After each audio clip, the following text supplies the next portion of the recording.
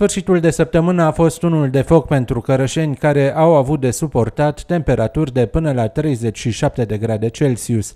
Străzile erau pustii, iar locurile de joacă altădată pline de copii la orele dimineții erau goale. La umbră pe bănci, oamenii căutau în zadar un loc răcoros. Oamenii spun că în apartamentele nu mai este de stat, alții spun că se descurcă cu instalațiile de climă, dar oricum este greu. Vă descurcați cu căldura asta?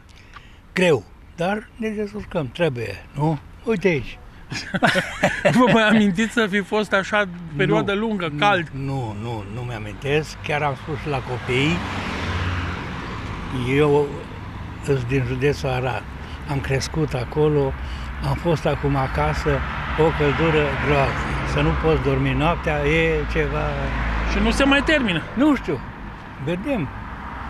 Îl de sus ne spune și știe Acasă că... cum vă descurcați cu, cu să faceți răcoare? Eu stau la parter, stau pe partea asta la altă, mai așa, geamul e Deci deschis. aveți geamurile la tot nord și un pic mai bine. Da, da, geamul e deschis tot timpul și uite așa. Păi da, ce să facem? Asta e situația. Cum vă descurcați cu căldura asta? Foarte rău. Eu sunt și bolnav și greu. Dacă nu, nu, nu pot să stau în casă. Nu pot să stau în casă deloc. Am ventilator degeaba. Trebuie să se afară neapărat.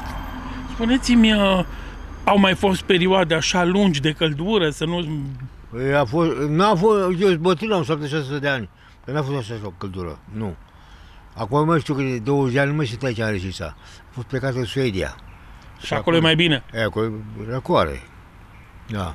Acolo 25 de grade, 30 de grade, maxim. Așa trece vara. La vară ne mutăm la ei. Da. Eu nu vreau să mă duc acolo. Pare că e atmosfera la Reșița. Minunată. Nu e cald? Nu, Dar unde sunteți plecați de obicei? Austria. E, acolo e mai frig. Nu, 25-26 de grade, dar uh, e altă climă, altă, altfel o simți. Și chiar aveam 28 de grade și am zis, mă, e mai bine, e mai bine uh, acasă decât la 40 decât 28 aici. De ce? Să alți E curent? clima, e altă, e la graniță cu Italia și e altceva. Am înțeles. Și aici cum vă descurcați cu căldura? E ok. E bine. Cu apa. Apă, apă, apă, apă rece și acasă mai dăm drumul la climă mai. Cum vi se pare vremea aici la Reșița? Păi, caldă, foarte caldă. Cum vă descurcați cu căldura? Eu cam nasol, că sunt cu tensiunea. Tensiune. Vă mai amintiți să fi fost așa perioade lungi de căldură vara? Nu știu aici în Reșița, dar la mine la țară o fost acolo căldură, sigur. Stau pe bani. Stați pe bancă, la umbră. E da. Și acasă? Și acolo am umbră. Spuneți-mi, uh, când vă amintiți să mai fi fost așa perioadă lungă de căldură, de caniculă? Niciodată. Niciodată nu. Fost și eu când am fost copil, dar nu. Deci așa perioade lungi nu au mai fost. Fost cald, dar nu așa călduri. Cald ziua, cald noaptea? Nu a fost. Binișor, ce să facem? Vă mai amintiți să fi fost o perioadă așa de lungă, cald și ziua și noaptea?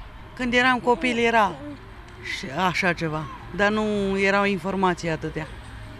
Deci și înainte era cald. Da, nu numai acum. Și acasă cum vă descurcați? Binișor, Aveți climă sau Da. umbră? Cu clima. da.